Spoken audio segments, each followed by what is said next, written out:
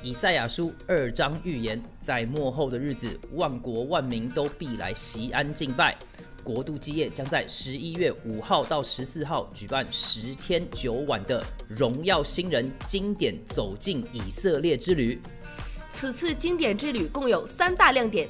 第一大亮点是我们将观光经典的旅游景点，包括令人心醉神迷的耶路撒冷，参观举世闻名的耶路撒冷老城区，特别是犹太人和列国游客都要前往的西墙，参观历史古迹大卫城，犹大地的神秘苏西亚，耶稣复活之地空坟墓，耶稣娶老祷告的克西马尼园和即将再次降临的橄榄山。我们还将漫游加利利湖，参观耶稣时代的会堂，并前往约旦河受坚信礼，参观犹太人生活的基布斯，去体验死海漂浮的乐趣，还会去大卫藏身之所迷人的隐基底。第二大亮点，我们将有关爱犹太百姓的文化活动。我们会去西伯伦参观亚伯拉罕、萨拉、以撒、雅各和利亚的先祖所葬之地，这是一场寻根溯源之旅。我们会邀请当地的犹太拉比分享他们是如何扎守在耶和华神给先祖应许之地的神奇故事。我们会参加万王之王事工在耶路撒冷的周日聚会和周六为以色列的祷告聚会。我们会与弥赛亚信徒一起庆贺，领受一个新人的祝福。除此之外，我们还将出席以色列精锐部队的纪念活动。面对面与以色列士兵互动，我们会参观在耶路撒冷全球极负盛名的高科技公司园区，了解现代以色列的科技发展。第三大亮点是，此次行程我们将全程住在安全舒适的犹太社区酒店，享受健康丰富的洁净佳肴。我们还会一起在传统犹太区的耶胡达露天市场购物，感受当地犹太人真实的生活。此次的行程将安排中文导游。除此之外，我们也邀请到前以色列国防军上校、现任基瓦提军旅主席伊扎克一起来带领我们深度探索以色列之旅。名额有限，抓紧时间报名哦！在六月二十日之前报名，则享受五十美元优惠。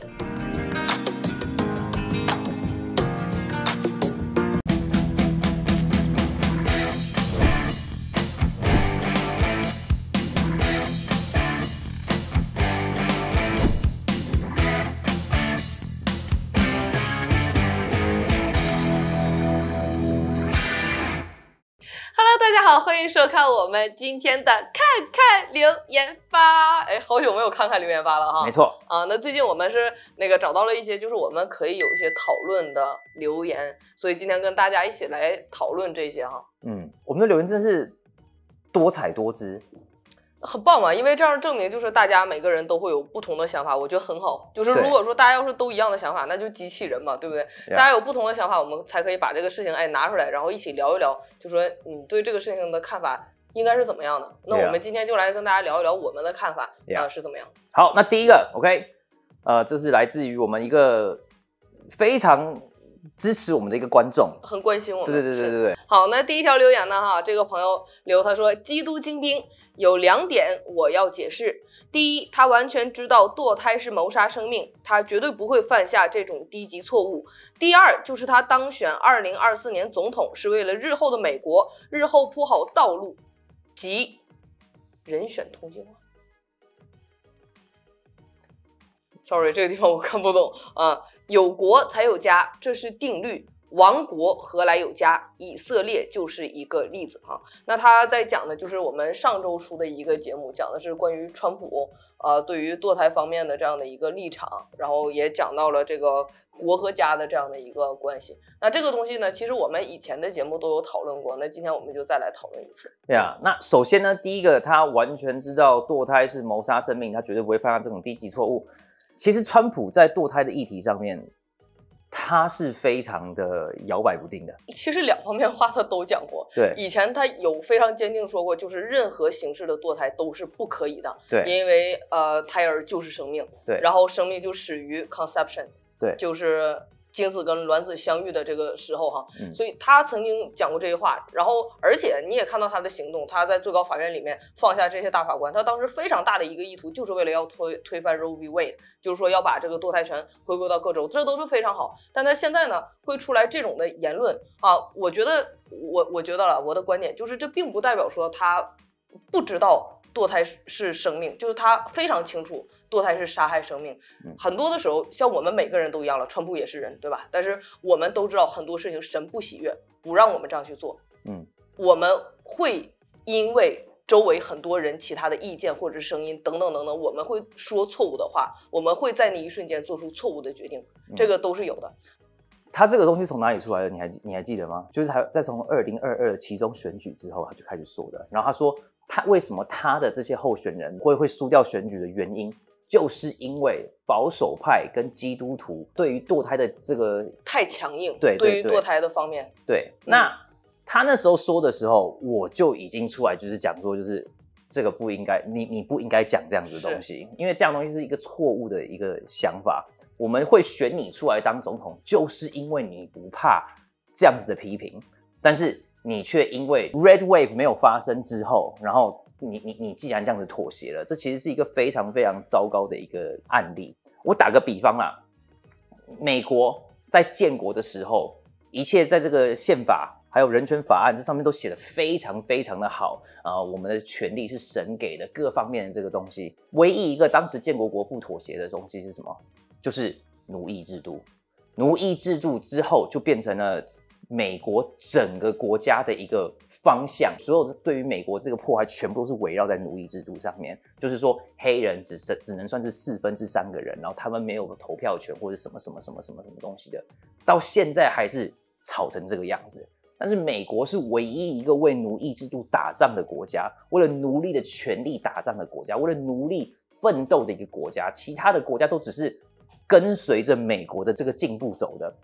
但是美国到现在，黑人还是觉得说什么自己被迫害，什么什么什么什么。然后民主党人就利用这一点，然后去摧毁整个神给黑人的这样一个计划，然后黑人不知道家庭是什么，甚至现在加州的这些地方，包括很多民主党州开始说要赔款，对吧？对像那个洛洛杉矶、旧金山这些，连城市也有，州也有，就说啊，我们要帮助黑人。一切的原因，最开始的源头就是因为那个时候建国的先父们，他们在这一点上面没有遵守神的话语。对，他们如果当时要是顶住压力，遵守了神的话语，就是说我们生而为人，神创造我们每一个人都是平等的 Yeah 黑人只是肤色跟我们不同，但他们跟我们一样都是人，都是神的创造。如果他们当时真的坚持神这样的话，今天不会延续到后面会有这么多问题。所以罪就是教嘛，对，所以他就是一直发发发发发两百多年，发到现在，然后越发越大，造成的后果越来越严重。呀那我们讲过很多次，就是川普不是神，川普或许是一个很好的总统，很好会带领美国，会改善美国经济，会改善改善美国很多东西。但是道德观、价值观这些东西，不是川普能反转的东西。对，这个是需要我们每个人有发生改变。那川普当然会有软弱的时候，人都会有软弱的时候，这个非常非常正常。对那你说他会，因为他太想赢了，他真的很想赢，因为他明白他的责任是什么，他也明白除了他之外，没有人能够真正的往把美国往一个好的方向去带领，或者是能顶住这些压力。他明白他的责任是什么，但是他现在在一个十字路口，他会要选择。就是我是要选择神的真理嘛，我像以前这样嘛。但是对他来讲，可能事实证明，就比如说二零二二的中期选举过去之后，他经过分析，团队分析，他可能认为这个事实证明，就是说，哦，我们是输在堕胎这一个方面。就是不管是我推出的这些人也好，我背书这些人也好，或者是我过去对堕胎这个议题上面的强硬的态度来讲，可能会让很多保守派的选民，嗯甚至是一些基督徒啊，他们都不能够接受就是完全禁止堕胎的这样的说法，所以他们会因为这个关系转而去选择不投票，或者是我投票投给民主党人。对呀，所以这个是他用人的这样一个思想去分析出来的东西，就说哦，那我认为现在现实分析出来的情况就是这样。如果我在这一方面软一点，或许别的其他方面都没问题，大家都认可我，投票给我，我就可以当上二零二四的总统。但很多的时候，我们在人生中，我们是要选择，就是我们是要用人的思想去思考，说我认为这样能成功，还是我真的就是我这些眼前的所有的这些东西我都不管，神怎么说我就怎么做，我就是坚持这个，而且神会让我成功，而不是这些人或者是人为思考的方式会让我去成功。所以要坚持为川普祷告，因为他的思想意念是非常非常重要的，对我们每个人来讲。嗯，要祷告去兼顾他，不要让他被这些呃这些莫须有的东西，或者是人身边讲的话，或者是等等，让他被这种东西所干扰。对，而且我们千万不能崇拜川普，因为他说的这个，他绝对不会犯下这种低级的错误。其实川普犯错其实不是第一次，在他家 Mar-a-Lago 那个地方，嗯。同性同婚的那个时候，他办了一个 party。同婚通过的时候，对，然后呢，还有像说，呃，他对于枪支，他 ban 了一个 bump star，他说我不想要在乎，我不在乎 due process，我不在乎正当程序，我们先把枪拿走了之后，然后再去做这个正当程序，这些东西都是错误，都是违宪，都是非法，都是犯法的。然后他因为他这样子的关系，他给了 ATF 这个样子的权利去做很多很多现在所有事情，像说现在要 ban 那个 pistol brace 这些东西，全部都是他给出去的这个权利。所以说，我们可以知道说，当一个领导人他们犯错的时候，他们的延延续下来的东西是很可怕的。我们的确就跟你说的一样，要帮川普祷告，希望他不要再犯同样的错误。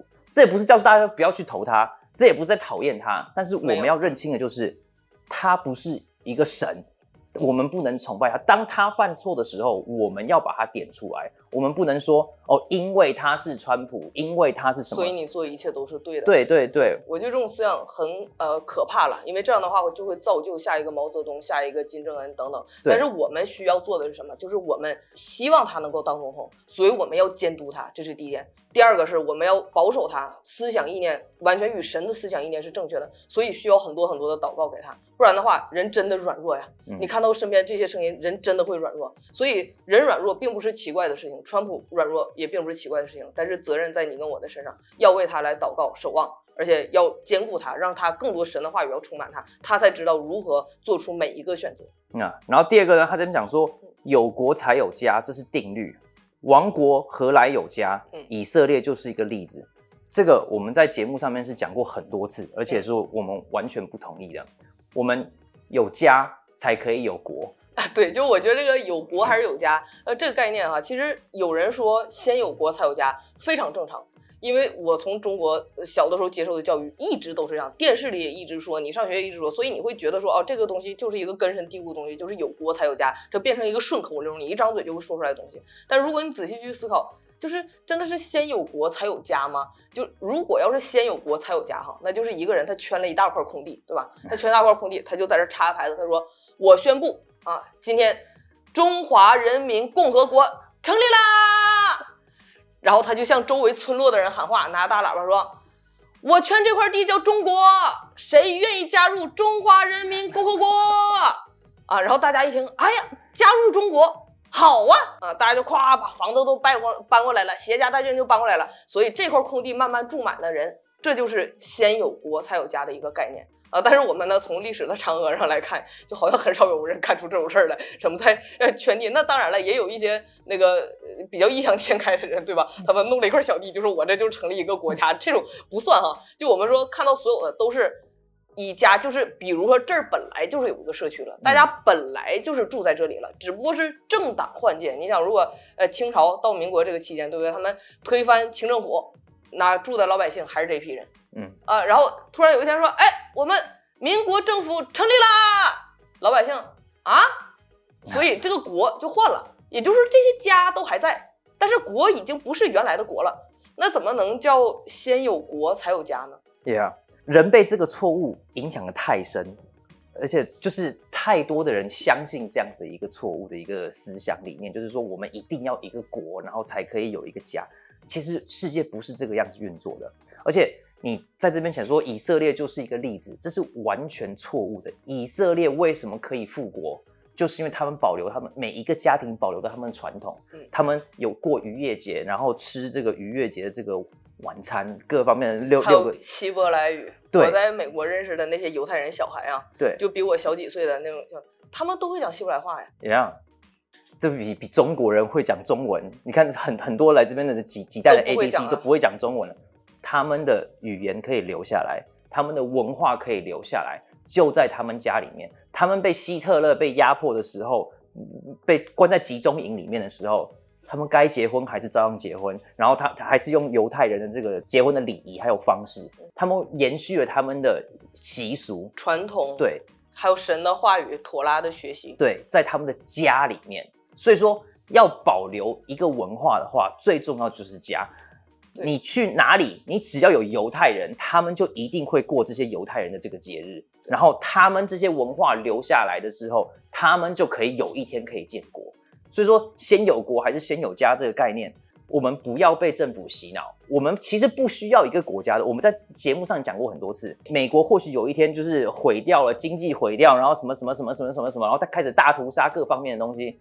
但是至于我和我家，必定侍奉耶和华。神拣选以色列是拣选这些以色列人，不是拣选以色列这个国家，不然他就不会让他灭国。所以你如果要是从创世纪看来也是，就是神不是先建了一个国，神是先建立家庭，对，就是有亚当，然后有夏娃，然后他们生养众多，这是家庭，然后家庭多多多多了单位之后，那是人自己说的哦，跟神说我们要一个王，神本来说。你们就已经在神的国度里面，你们是神国的子民呐、你们不需要有地上一个政权的王去辖制你们。但是当时以色列人想来想去，还说我们要一个王，我们要一个王，我们要一个王。撒母耳就说：“你确确定吗？”然后他们就说：“我们真的要一个王。”所以那个时候是什么？是国，嗯就是你找了一个人来统治你们。那这个人就说：“来，我们就是画一下地图哈，就这一块儿，哎，就成为我的国了。我的国号叫什么什么什么。”所以就是人都开始去侍奉这个人类的王。所以这个时候就会有个概念的混淆，就是神的国跟人的国到底是什么？你说有国才有家，另外一种定义没错，你要有神的国，就是你要服侍的是神的国，而不是人的国。你要明白，人的国是人类的政权，所以很多人流血死亡。如果你是为了神的国，你献上了生命，你去殉道，非常棒。神一定会纪念你，这是一件好事。但是如果你为了人的政权，几个大佬在那说打，你们开始给我打打打，对吧？你像乌俄战争牺牲了多少年轻人，，Yeah 非常非常惨痛的事件。啊 Yeah 就是这些家庭里面都失去了他们的儿子，失去了他们的爸爸，这是非常难过的事情。所以这就是为了人类的政权去，你就是说白了就是替人卖命了，然后被人杀死。对你替神卖命的话，你会得到神给的荣耀跟祝福，然后他会祝福你的家。但是你为了人卖命的话，没人会感谢你的。每个人给给你一个奖杯，OK，国旗折成一个三角形送给你妈，然后说哦，Thank you for your service. Your son was great. OK，你像现在那个那之之前的十三个在那个阿富汗死掉那那三个海军陆战队，就这个样子。然后 Joe Biden 这边一直看他的表，就在丧礼上面，对，一个国不会在意你的孩子，不会在意你家，而且他们会想要摧毁你的家，一直以来都是这样子。为什么现在他们这么想要摧毁家庭？就是因为家是国呃集权的一个最大的反对势力。对人会为了家而牺牲，会我会自愿的为了家而牺牲。我我要为了我的小孩，为了我老婆牺牲自己，跟别人拼了，是非常正常的一件事情。但是你要我为 Joe Biden 死，你要你你要我为现在的 Kamala Harris 死，你要我为了变性的议程然后丧失生命，我不可不可能的，对不可能一件事。所以说，先有家还是先有国这个东西，我们基督徒一定要搞得非常非常的清楚，因为只要这东西一混淆了之后，我们很可能就会我们会失去向神国努力的目标。没错所以这个东西是非常重要的一个概念。呀。嗯好，来第二个朋友啊，第二个朋友这留言挺有意思的，这个主持人抱怨大家只爱听八卦，不得不说主持人传福音很用心，评论时事的内容与带有嘲讽的方式，真的比干巴巴的其他媒体人说的更好听。谢谢啊，谢谢，你应该感觉到很很 appreciate 哈。对对对对，啊，也别抱怨啦。想象每天能对着几百上千人传道，已经比台湾半数以上教会的牧师都厉害了。呀哇哦，所以说我必须要感谢这位 Angela Wu 这个观众，非常感谢。真的非常感谢，啊，我也知道，就是我们其实改变了很多人的生命，有很多见证啊。有人原本要变性，然后就变性了；原本是同性恋，说他不犯罪了。各方面我们有好多好多这样的，但是我真的有点就是恨铁不成钢的这种。我明白，很多时候就是我们是会看到，就说哎呀，基督徒啊，起来呀，不要再被骗啦，不要不要再那个。但是说实话，就是我们每一期发出来节目之后，我们都会想要说，哎，看看回应怎么样，响应怎么样。但是我们就会发现，其实真的聊八卦，大家比较爱看，然后说正经事儿的时候，那个观看量就啪就掉下去，然后留言率也啪掉下去。那这个呢，有的时候的确稍微有一点灰心，不过 OK 了。对啊，那其实我们很希望的一件事就是牧者可以看，哦，对，然后牧者可以看到这些东西，牧者可以带领他们的教会，教会然后因为我们的力量是很小的，我们的力量是这边放一个 YouTube 频道这个样子，但是牧者他是可以带领教会，他是可以动员教会，他是每一天跟这些教会里面的人共事，然后呢动员全部的教会去做这样的事情的。啊，所以那个，如果你要是牧者哈，请你继续坚持收看我们的节目啊。或许有一些地方你可能不同意，但是我觉得很多时候人跟人之间不同意非常正常。如果不涉及到圣经真理的方面，其他东西不同意的话，当然大家都可以讨论的。我觉得那都不是硬伤，也不是一些大问题哈。那如果说，哎，你不是牧者，但是你觉得我们的节目是有内容的，或者你觉得说，哎，我们的节目是会对现在的牧者，然后对教会是有帮助的，那欢迎你转传我们的节目给教会里的大家看哈，可以给牧者来看。然后还有就是，他说我们就是别再抱怨啦，你们可以每天跟几千个人传道，OK，已经比台湾的半数以上的教会牧者都还要厉害。这是我们很感恩、很感恩的一点。对，但是我们的野心比那些教会还要大。我们想要做的事情是让基督徒起来变得刚强，让每一个人都有能力，让每一个人靠着神得胜。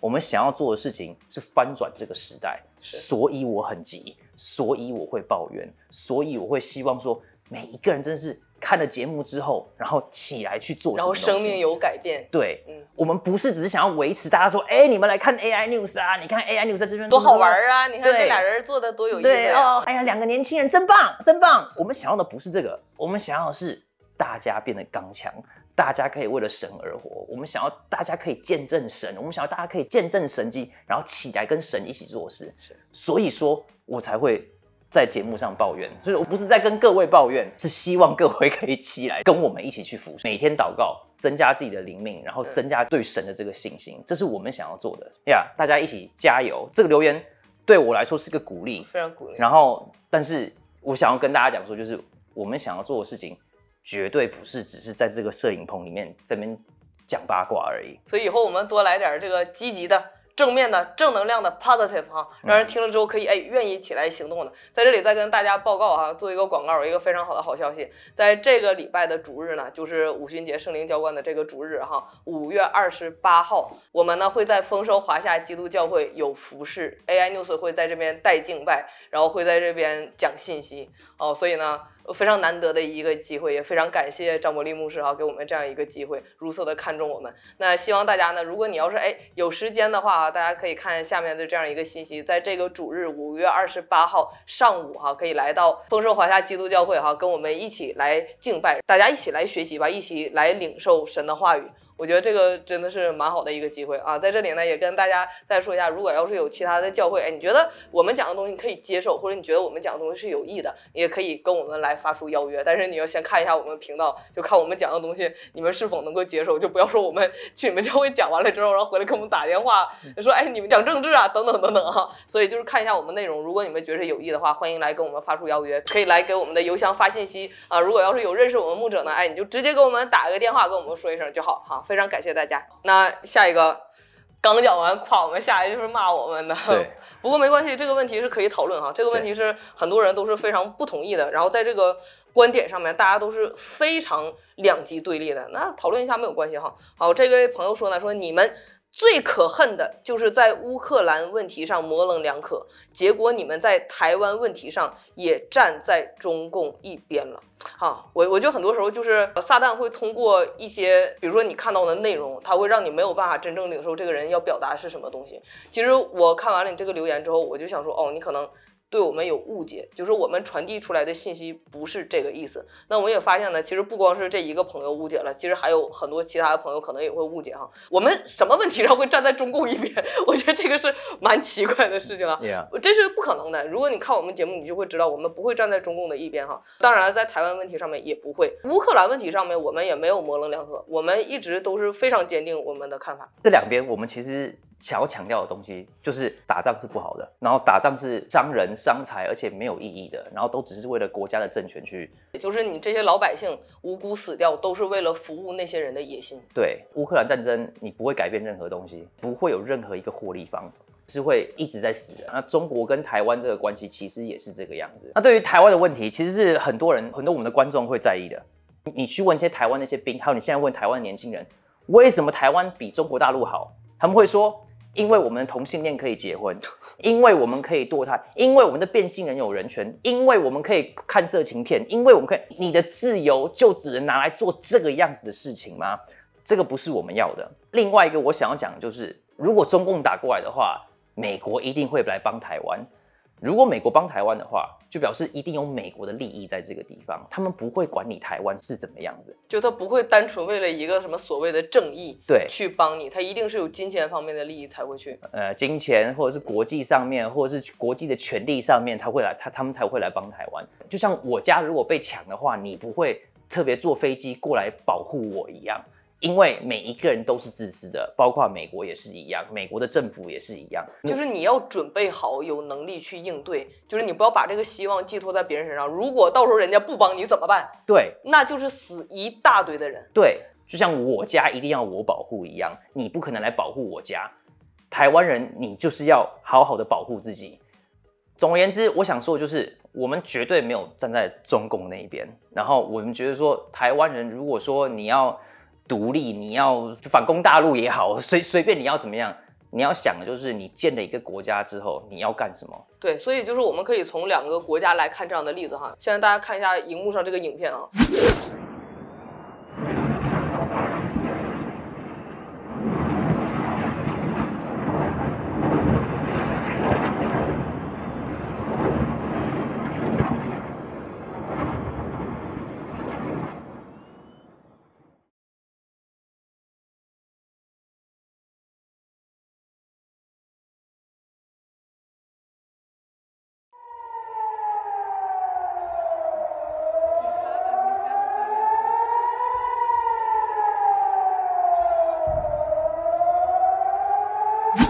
多么的壮观，多么的可怕！每一个导弹这样射过来，然后就全部被拦截。你知道这是每一天，你说生活在以色列，你晚上看就天上放烟花，而且每一个真的都是导弹就这样打过来。但是为什么？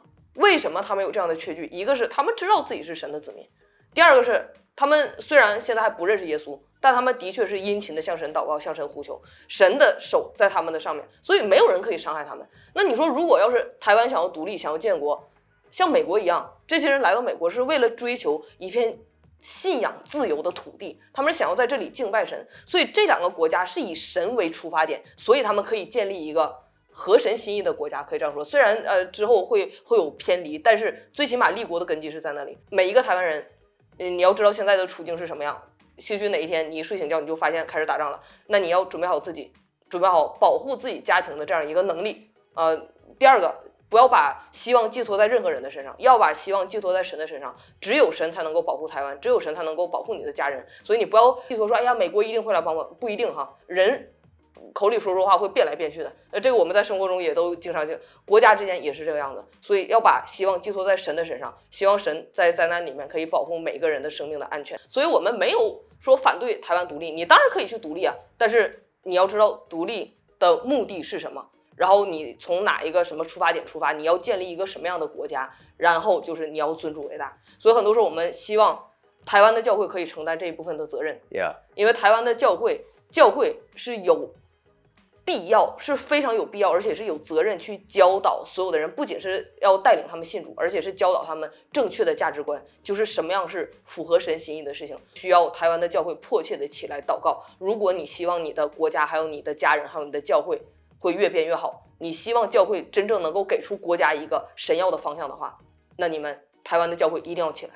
Yeah，我们要知道说神的心意是什么，特别是基督徒。我不知道这个人是不是是不是基督徒，这人有没有信主啊？嗯嗯。但是这个频道就是一个基督教的频道，我们两个就是基督徒，我们不会为了任何国家的政权来去奋斗，我们只为了神的国来奋斗。嗯。好，所以就是不管啊我们的观众朋友是不是基督徒哈，你也要知道，如果做了违背神心意的事情，神不会祝福的。这个是一个永恒的定律，就是不管你认为你是基督徒也好，你是佛教徒也好，或者你是信法轮功的，不管是什么，这个世界的定律都是这样，只有这一个神，而且你必须要按照神的心意去行事。那台湾呢？如果要是想要独立，想要建国，大家去祷告啊，大家去祷告啊，对吧？那祷告的话，你要知道方向是什么。如果你是为了变性人、同性恋，神不喜悦的，神不会去推动你为了变性人去建国这个事情，神一定不会去推动。但是如果要是基督徒起来，根基立在神的上面，神会帮助。所以这个祷告的方面就交给大家了。那希望今天呢看完我们的节目之后，可以让大家对现在发生的事情有更多的警醒，也知道很多的责任都在基督徒的肩上哈。那不仅是传福音的责任，而且更是有教导真理责任，都在每一个人的身上。那大家一起来加油啊！好，那今天我们的节目就到这里了哈。如果大家哎有什么疑问，或者是你有什么看见啊，都欢迎在下面给我们留言，我们大家可以一起来讨论。好，的非常感谢大家收看我们今天的节目，我是弗丽莎，我是伊泰。那我们就下次再见了，拜拜。